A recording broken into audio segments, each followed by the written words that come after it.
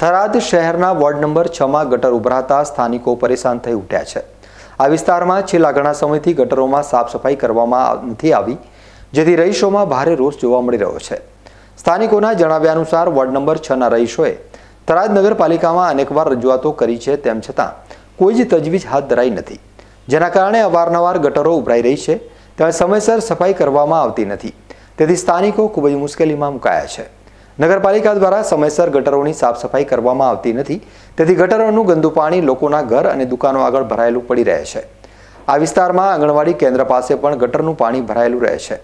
જેના કારણે આ વિસ્તારમાં ગંદકી ફેલાય છે અને નાના બાળકો રોગચાળાનો ભોગ બને તેવી શક્યતા વર્તાઈ રહી છે. થરાદ નગરપાલિકા દ્વારા વહેલી તકે આ ગટરોની સાફ સફાઈ કરવામાં આવે, ત્યાં તૂટેલી ગટરોનું સમારકામ કરવામાં આવે તેવી રહીશોની માંગ છે.